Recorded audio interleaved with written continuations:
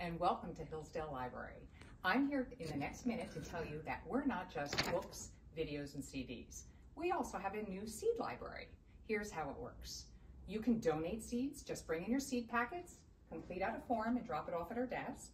And you can borrow seeds by going to our seed library here. We have vegetables, flowers, herbs. Borrow the seeds, fill out this smaller form, bring that to the desk. Also, don't forget to bring your library card. We have lots of books that you can use to help your garden grow.